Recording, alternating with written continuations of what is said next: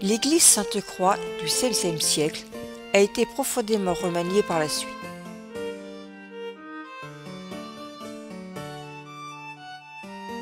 La flèche octogonale en ardoise est un signe distinctif du pays augeron.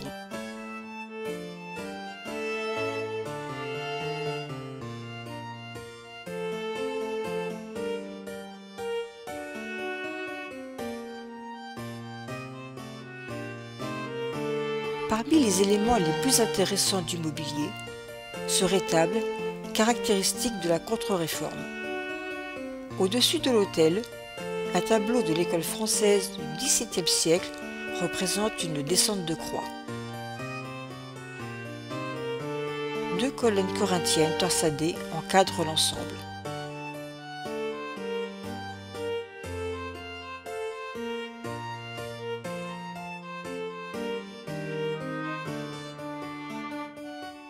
L'hôtel actuel en bois est la caisse d'un ancien billard offert par un paroissien après la guerre.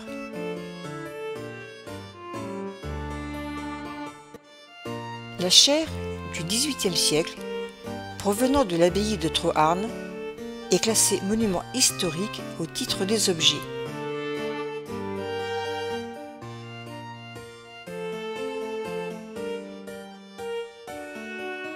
Débarrassés de leur enduit en 2003, les murs extérieurs ont révélé divers graffitis, bateaux et cadrans solaires notamment, non datés à l'heure actuelle.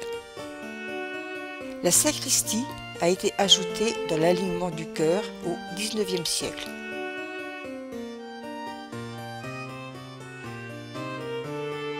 Sur la tombe de l'ancien curé de Gonneville-en-Auge, 1881, se trouvent deux symboles de Saint Jacques de Compostelle, la coquille et la basilique.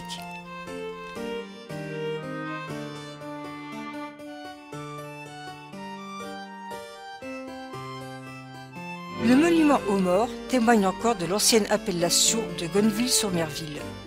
En 2011, un douzième nom y a été inscrit sur la liste des poilus gonnevillais tués pendant la Grande Guerre, celui d'Adrien Lefebvre, abattu en 1915.